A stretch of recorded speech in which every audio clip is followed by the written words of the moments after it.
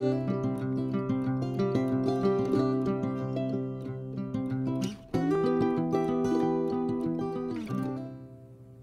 morning. My name is Miss Cat, and I want to welcome you to Rattle and Rhyme here at the Friendswood Library.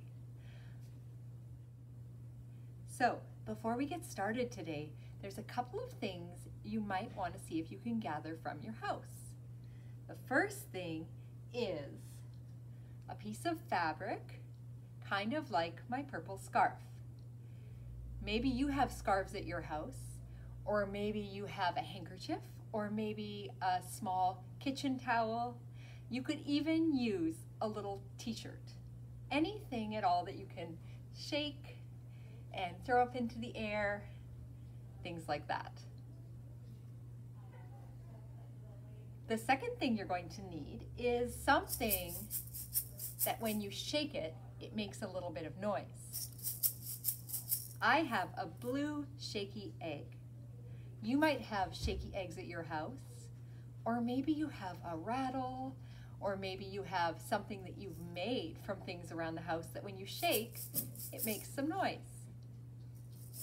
If you can't find anything like that, don't worry. You can always use your scarf, your towel, your t-shirt, and you can shake that just the same. Okay, to get started, we're gonna stretch our legs right out in front of us as far as we can, and we're gonna say hello to our toes, and our knees, and our tummies, and our hands, and our heads. And last is my favorite part where we say hello to all of our friends. If you are a bigger child, you can do all of this by yourself. You can reach down and touch your toes and you can touch your knees and your tummies and your hands and your head and your wave at your friends. If you are a caregiver and you have a small baby, you can do all of these actions with them. So you can lay your baby in your lap and you can say hello to their little toes and their hands and their knees and their tummies and touch their little heads. And this is a great rhyme for gaining body awareness and also just having nice contact with your baby. So we are ready to get started? Yes, let's do it. Say hello to your toes, hello toes, hello toes. Say hello to your toes, hello toes. Say hello to your knees, hello knees, hello knees. Say hello to your knees. Hello, knees. Say hello to your hands. Hello, hands. Hello, hands.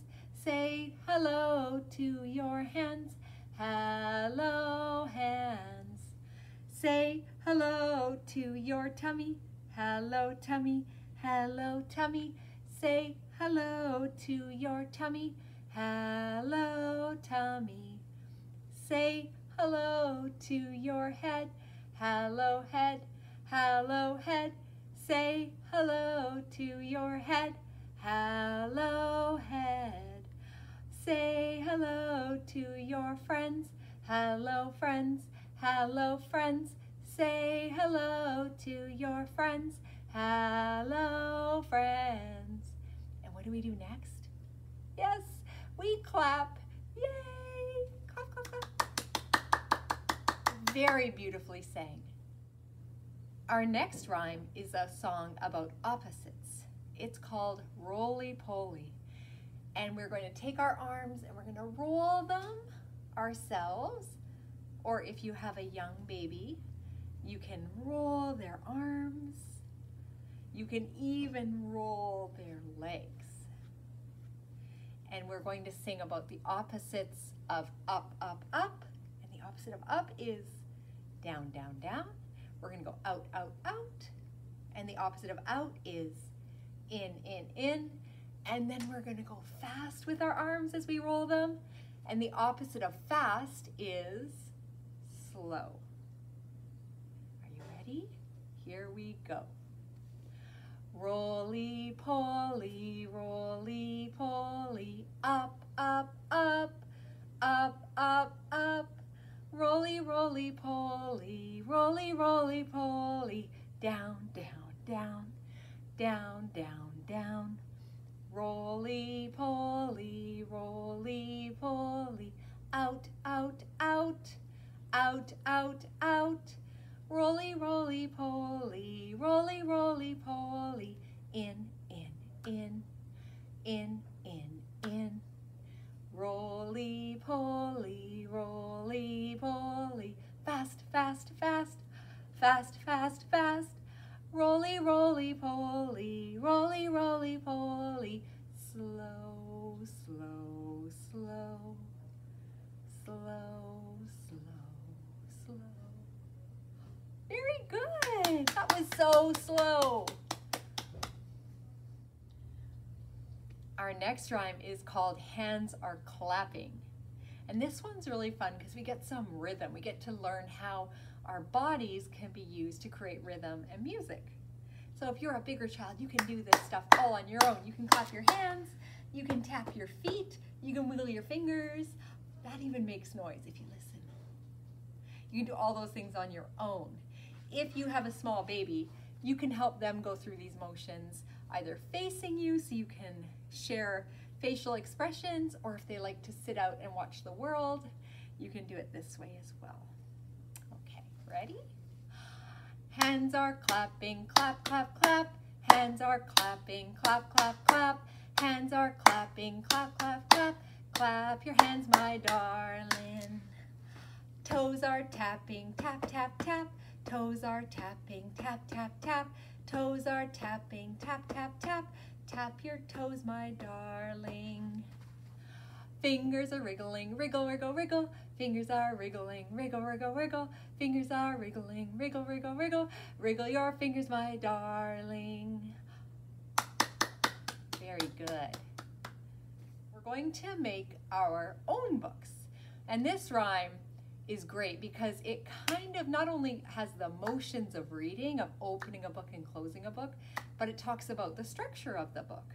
And so it introduces you to the idea of the, of the spine, how we open the book, and how there are pages inside, and that those pages contain words and pictures. So it's a pretty, pretty neat rhyme. And it's a lot of fun to do. So we're going to make our own book. And the way that we do that is we just clap our hands and then timber, we flip it over. Let's take a look at this book. Here is the cover. We open it wide. Here are the pages hidden inside. There are words and pictures. We look and we look. And when we are finished, we close up the book. This week we're reading this adorable book. It's called This Little Hamster, and it's written and illustrated by Kass Reich, and the publishing company is called Orca Book Publishers. So we want to thank both the author, illustrator, and the publishing company for allowing us to share this book together. There are a lot of things that I really love about this book. First, I love how simple and clear and fun illustrations are. There is the obvious element of color identification on each page, plus you have the opportunity to identify the different objects that are mentioned for each color. Also, the hamsters are just really cute.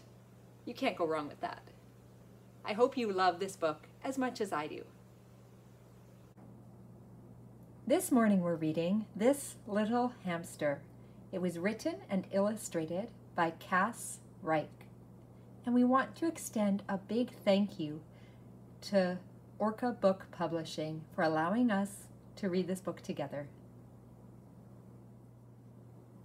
This little hamster is crazy for blue. She has a sofa, a net, and a silly tutu. These little hamsters love everything red. They have a hat, a cherry, and a spool of thread. These little hamsters prefer items in pink. They have cupcakes, a wand, and something to drink.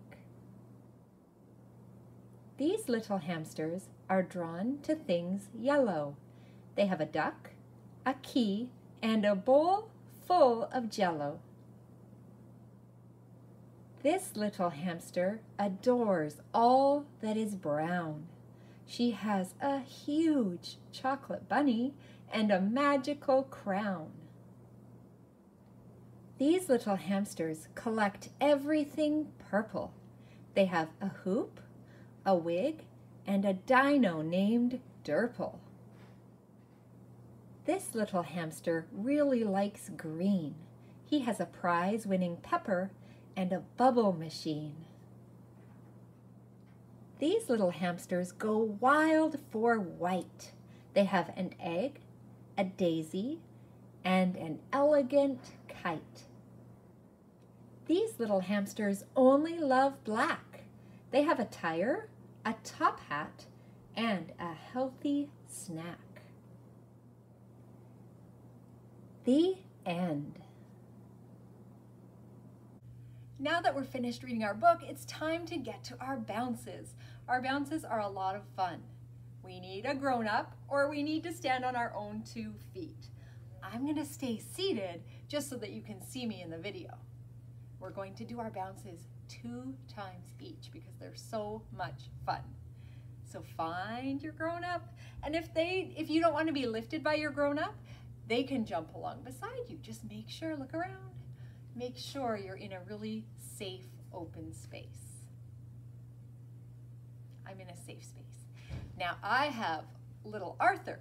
So if you have a little baby, like I have little Arthur, I'm gonna bounce Arthur like this because he can't jump on his own yet. Not yet. So I'm going to bounce Arthur. And you can do that with your baby. You can do that facing outwards towards the rest of the world. You can put your baby facing you and you can alternate. Since we're doing it twice, you could do one each way if you want to. The first rhyme is called A Smooth Road. And it's a nice introduction rhyme because it starts gradually, especially if your baby is new to bounces that's a nice way to start to see how they react to the idea of being moved through the air with their bodies up and down and side to side. This is called a smooth road. A smooth road, a smooth road, a smooth road, a smooth road. A bumpy road, a bumpy road, a bumpy road, a bumpy road. A rough road, a rough road, a rough road, a rough road, a hole. That got more exciting, didn't it, as we went? So we gotta climb out of the hole. There we go. We're gonna do that one more time. And this time I'm gonna turn Arthur to face me. Are you ready? A smooth road, a smooth road, a smooth road, a smooth road. A bumpy road, a bumpy road, a bumpy road, a bumpy road. A rough road, a rough road, a rough road, a rough road, a hole. And climb out of the hole. Our second rhyme is called A Bouncing We Will Go. And this will have several different kinds of motions in one rhyme. So we're going to bounce, we're going to rock, our arms are going to go up and down, and our legs are going to go, oh, too close to the books. Our legs are going to go back and forth. So all those things. Just like previous rhymes, if you are a bigger child, you can do all of these things on your own. If you have a baby, you would just mimic these motions with your baby. So you would have bouncing, rocking, and then arms moving up and down just very gently, and legs going back and forth. And we'll do this two times. A bouncing we will go, a bouncing we will go. Hi ho the a bouncing we will go. A rocking we will go, a rocking we will go. Hi ho the dairy-o, a rocking we will go. The arms go up and down, my arms go up and down. Hi ho, the dairy go, dairy ho, our arms go up and down. Our legs go back and forth, our legs go back and forth. Hi ho the dairy-o, our legs go back and forth. You can move your legs however you want. Isn't that fun? Ready? A bouncing we will go, a bouncing we will go. Hi ho the dairy-o, a bouncing we will go. A rocking we will go, a rocking we will go. Hi ho the dairy-o, a rocking we will go. Our arms go up and down, our arms go up and down. Hi ho the dairy-o, our arms go up and down. Our legs go back and forth, our legs go back and forth. Hi ho the dairy-o, our legs go back and forth. That's a very energetic rhyme, isn't it? Whew. We have one more rhyme. Our last rhyme is our elevator song, and we have kept this rhyme the same from the very first rattle and rhyme I did here at the Friendswood Library years and years ago. We love this elevator song. So for the elevator, you can stay seated like me. I'm gonna stay seated just so you see me in the video, but you remember when we do rattle and rhyme here at the Friendswood Library, we often like to stand up because we're gonna go all the way from the first floor up, up, up, as high as you dare to the fifth floor, and then quick zoom down.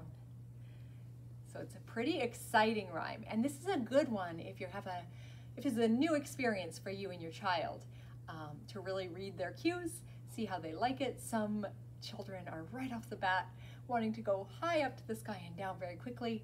Others like a little bit more of a gradual exposure to that sense of height going up high. So you will be able to tell with your baby probably very easily.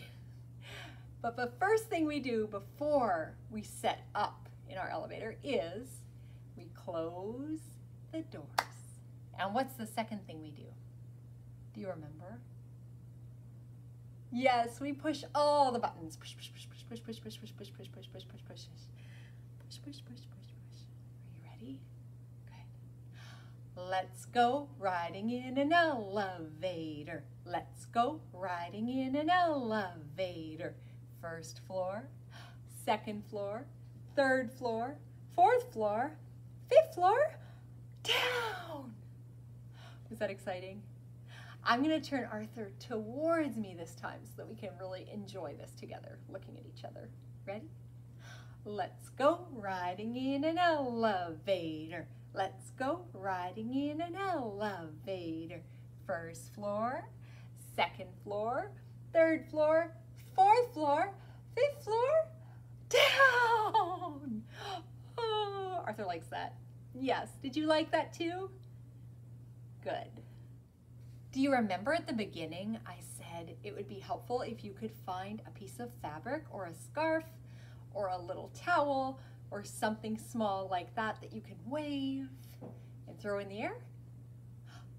If you didn't get a chance to grab it, now's your chance. Run and get it. And bring it back and we are going to do our scarf songs. Our first song we're going to sing this morning is called One Bright Scarf. And this one allows us to wave our scarves in different ways. So we're gonna wave it up high, we're gonna wave, wave it down low, we're gonna shake it really fast, and we're gonna shake it slow. And this is a bit of an advanced move.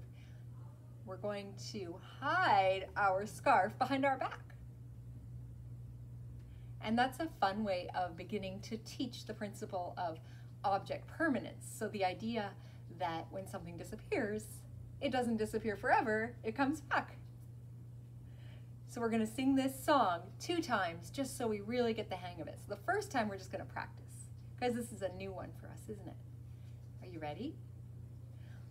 One bright scarf waiting for the wind to blow. Wiggle it high, wiggle it low. Shake it fast and shake it slow. Where did it go? Where'd it go? There it is. Throw it up into the air and try to catch it maybe. Can you do that? Throw it in the air and try to catch it. Okay, now we know it. We're going to sing it a little bit faster this time. One more time.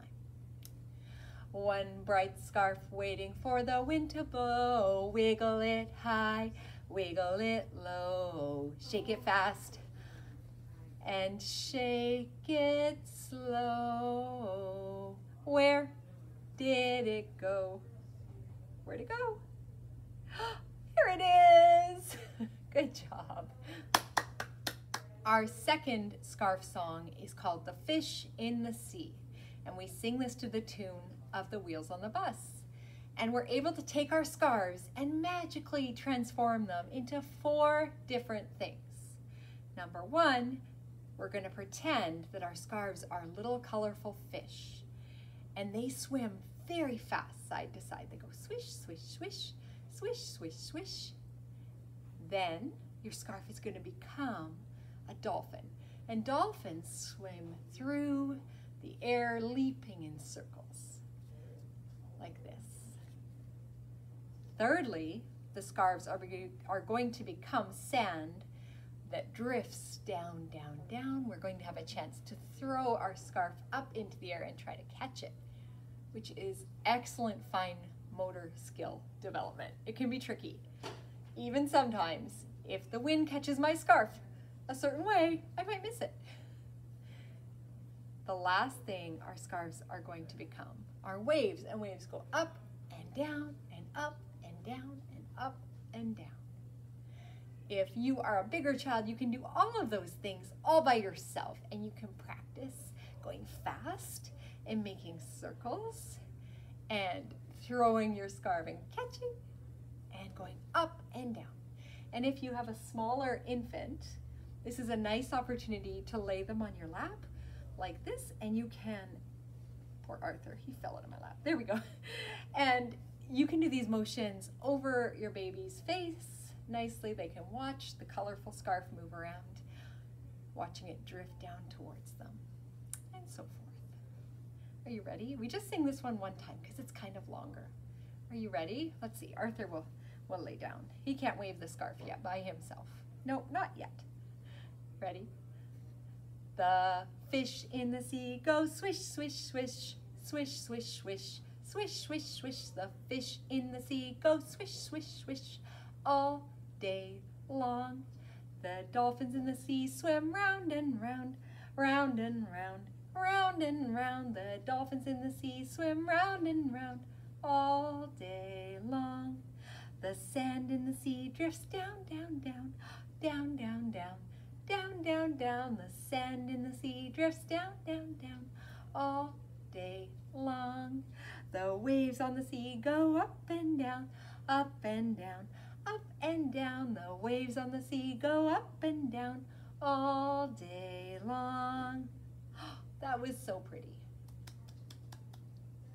Now it's time to get your shaky egg, if you have one, or your rattle, or your homemade noise maker you might have made.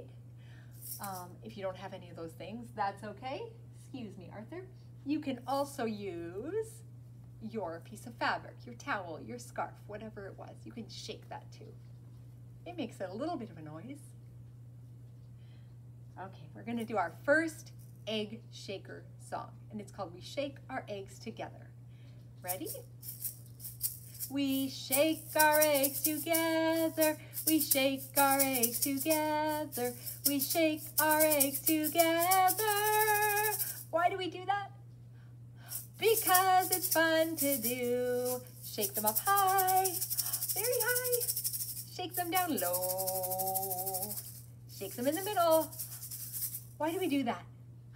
Yes, because it's fun to do. Very good. For our second egg shaker song, we have a brand new song, and it's called Can You Shake Along With Me? It's sung to the tune of London Bridge we use that one a lot. That's a great tune.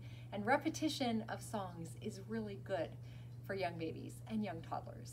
For this song, if you are a bigger child, you can do the motions of shaking and then we touch the shaker on different parts of our body. So maybe on our knees, maybe on our elbow, maybe on our toes, whatever you want. This is a great song to change, to change it's, it's limitless how many times you could change this. It's a great way of introducing the concept of different body parts, identifying them and touching them. If you have a small baby, you're gonna shake and then touch to the foot, to the knee, whatever we mention, okay? Let's give it a try. Can you shake along with me, along with me, along with me? Can you shake along with me? Touch your shaker to your knee. Did you do it? Where's your knee? There it is. Let's try again. Can you shake along with me, along with me, along with me? Can you shake along with me? Touch your shaker to your hand. Did you do it? Where's your hand?